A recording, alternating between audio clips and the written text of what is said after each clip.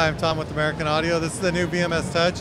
Uh, American Audio kind of changed the DJ landscape when the VMS4 came out a couple years ago. It was the first four-channel controller with the mouse pad, touch strips, and all that.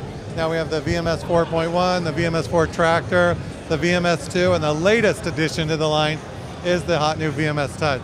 It's an affordable controller with touch-sensitive scratching, uh, touch surfaces. One of the main things is balanced out. Uh, no other controller in this price range has that. So it's a whole new way of mixing, accessing your effects, accessing your samples. We're really excited about it. It'll be out shortly from American Audio, the VMS Touch.